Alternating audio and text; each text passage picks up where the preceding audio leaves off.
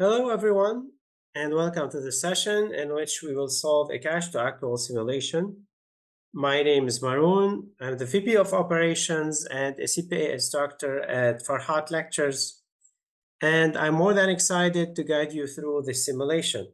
First, before we look at the facts of the simulation, we need to know why a company would want to convert from a cash basis to an accrual basis. Well, there are many reasons, but those are just some examples. Uh, the first example is to comply with the bank requirements. When a company is applying for a loan, the bank may require the company to present its financials on an accrual basis of accounting. Company may need to comply with the IRS requirements. So a small sized company is increasing in size and the gross receipts exceed a certain amount and this company is now required uh, to present its financial statements on an accrual basis. Final example is to meet external stakeholder expectations, such as investors and lenders, who may want to look at the financial statements uh, on an accrual basis to have um, a, uh, an in-depth understanding of the financial position and the net income of the company. Now let's go ahead and get started. Before we proceed any further, I have a public announcement about my company, farhatlectures.com. Farhat Accounting Lectures is a supplemental educational tool that's going to help you with your CPA exam preparation as well as your accounting courses. My CPA material is aligned with your CPA review course such as Becker, Roger, Wiley, Gleim, Miles, my accounting courses are aligned with your accounting courses, broken down by chapter and topics. My resources consist of lectures, multiple choice questions, true false questions, as well as exercises. Go ahead, start your free trial today. Adam Lawn Service Company maintains its books on a cash basis. However, the company recently borrowed 160,000 from a local bank and the bank requires Adam to provide annual financial statements prepared on an accrual basis. So basically, we need to convert from the cash basis of accounting to the accrual basis to comply with the requirements of this loan. During 2023, the following cash flows were recorded. So we're going to look at the cash flows uh, during the year 2023 we have cash collected for services to customers. So on the cash basis of accounting, the cash collected is the same as the revenue recorded. And the cash paid for expenses, it's going to be our expenses recorded for the period. And in this case, the net operating cash flow, it's going to be the same as our operating income on the cash basis of accounting. Would it be the same as the operating income on the accrual basis? No. Why? Because on the accrual basis of accounting, uh, the timing of the revenue recognition is different.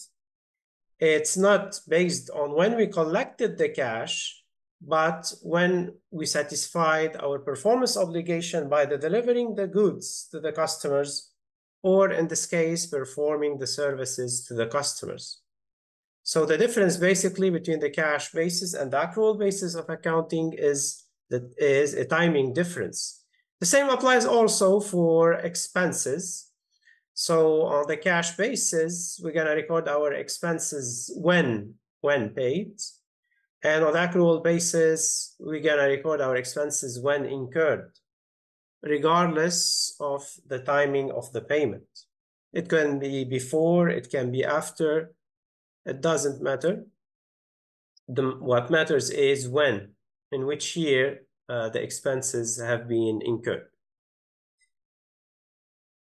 So here, we're gonna need additional information uh, to solve our uh, simulation.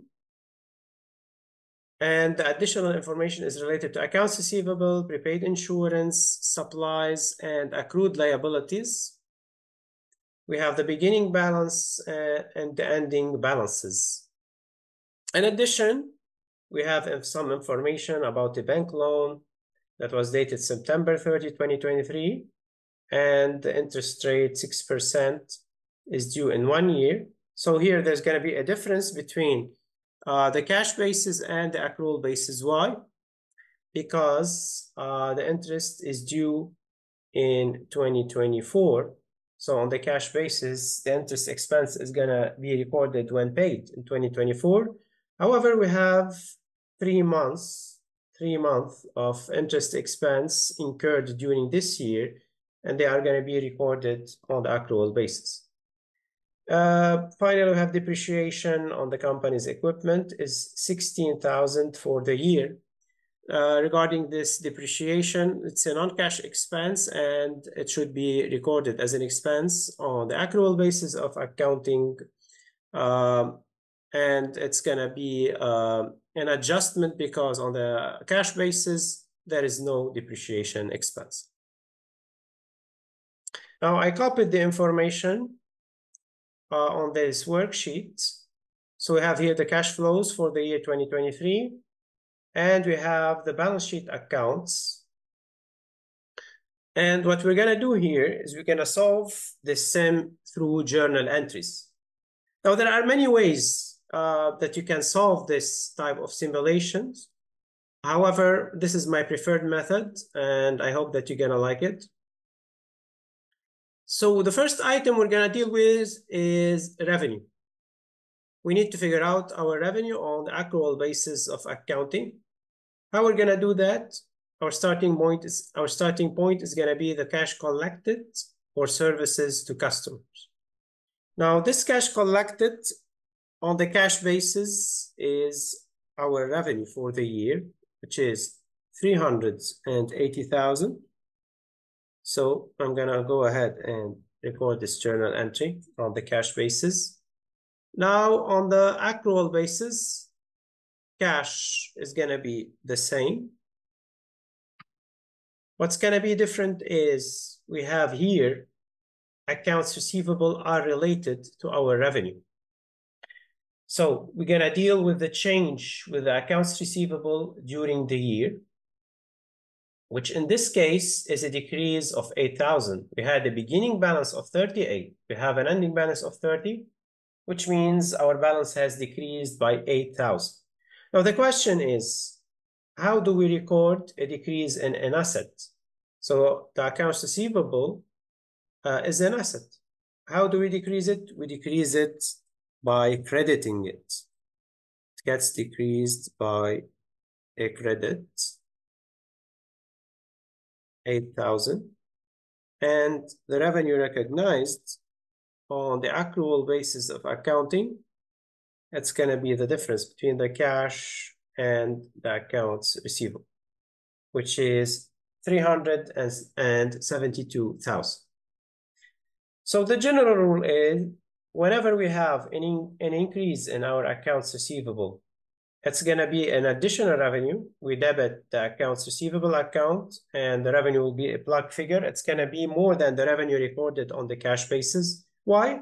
Because we accrued an additional revenue that was not collected during this year. However, it should be recorded because uh, it was earned. And like, like this, in this case, when we have a decrease in our accounts receivable, it's gonna uh, decrease our revenue. Why? Because we have revenue that was earned in the prior year and collected in this year. So it's not this year's revenue on the accrual basis of accounting. So this is for revenue. The next item is salaries. Now regarding salaries, uh, it's very easy because we don't we don't ha have here any wages payable. We don't have any prepaid salaries. So our journal entry is going to be the same on the uh, cash basis and on the accrual basis, which is a debit to salaries expense for 186,000 and credit to cash for 186,000 so here there is no difference in the timing of the recognition of the expense because it was incurred and paid in the same year. Next in line, we have the supplies. Regarding the supplies expense, we have also a balance sheet, related balance sheet account, which is the supplies asset. Now, the journal entry on the cash basis, it's going to be a debit to supplies expense for 31,000, credit to cash for 31,000. Cash is also going to be credited for 31,000 on the accrual basis. However, here, we're going to need, need to deal with the increase in our supplies asset. So we have an increase of 200 from 1600 to 1800. Let's debit our supplies for 200 and the supplies expense is a plug figure. It's the difference between the cash and the supplies asset. So why our uh, supplies expense is lower than uh, on the accrual basis? Because we have $200 that were not incurred during the period. They are remain in our assets. They remain our assets at year end. So um, the fact that we paid for these supplies is irrelevant on the accrual basis. Our next item now is rent.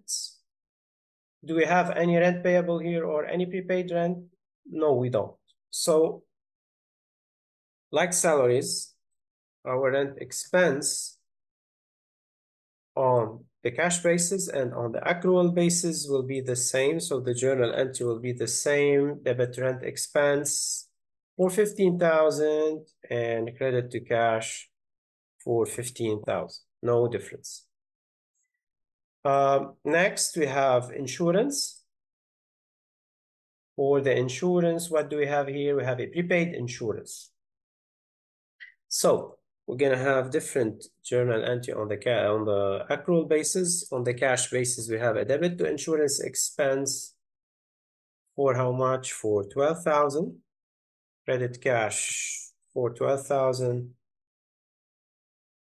On the accrual basis, we have a credit to cash for 12,000. So we have to deal with this increase in our prepaid insurance for 2600.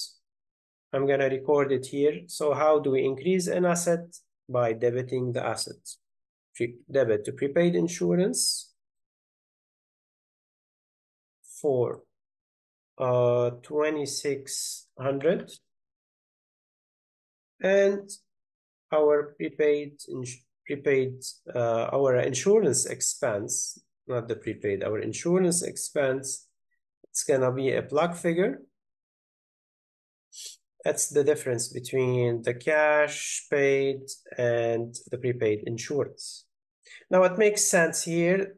So despite that we paid 2600 uh, of insurance, it's not an expense for this year. It's not incurred during this year. So the timing of uh, recording the the timing of the recognition of the expense, it's not going to be in this year. It's going to be in the following year when we incur the expense. So whenever we have an increase in an asset, an increase in a prepaid, it's going to reduce our expenses. And the opposite is, is, is true. If we had a decrease in our prepaid insurance, this would have meant that um, an amount that was paid in the prior year has been incurred in this year, and we need to increase our expenses on the accrual basis because we have a timing difference. The, uh, the expense would have been recorded on the cash basis during 2022, and the pre prepaid insurance uh, would need to be recorded in 2022 and the expense would be recorded in 2023. So also it would have been resulted in a timing difference, but the expense would have been in increased and not decreased in 2023. This is for the insurance. Uh, we still have the final item here, miscellaneous expenses.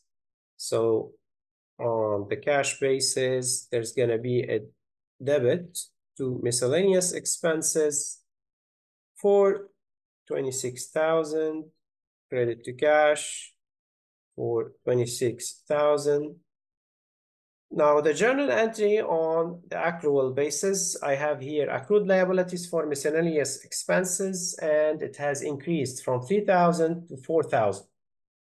This is an increase of 1,000. This is an increase of 1,000. Um, so what we're gonna do here, first of all, we're gonna credit cash for 26 and we gonna, we have an increase in a liability. So how do we increase a liability? it's through a credit. So I'm gonna go ahead and credit my accrued liabilities account for 1000 and I'm gonna debit my miscellaneous miscellaneous expenses account for the plug figure. The plug figure here is the sum of 26,000 and 1,000. So I can total my I can balance my uh, total debit and total credit. So a liability gets increased by a credit and gets decreased by a debit. So whenever my liability increases, I'm going to credit it. And this will lead to an increase in my expenses because I'm accruing more expenses. And if I had a decrease in my liabilities, that would have meant that um, although some liabilities were paid during this period, they were incurred in the prior period, so they are not uh, this period expenses on the accrual basis, and I would have decreased my expenses.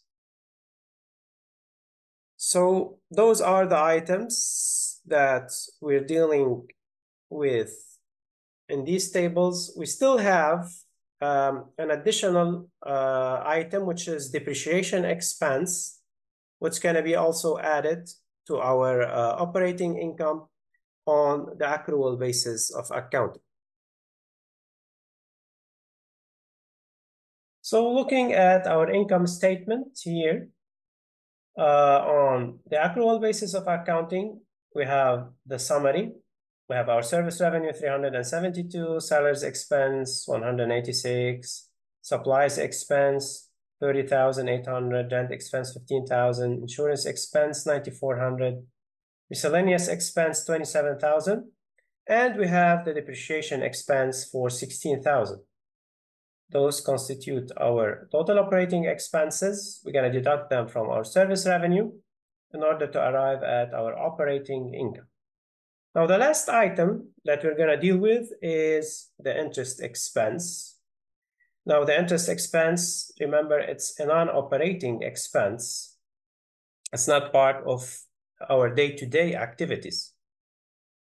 Now, this interest expense, it's not recorded on the cash basis because it's paid in 2024. However, we need to calculate the por calculate the portion that's going to be recorded in 2023 on the accrual basis, which is uh, the 160,000 of dollar borrowed multiplied by the 6% interest rate multiplied by the number of months that uh, the loan was outstanding during the year 2023 which is from October till December. We have October, November, December, three months divided by 12. And we get our interest expense, which is 2400. So finally, we're going to deduct the 2400 from our operating income and we're going to arrive our to our net income on the accrual basis, which is 85,400. What should you do now? You should go to Farhat Lectures, look for additional resources to prepare you for your CPA exam or accounting exam. Thank you for watching and happy studying.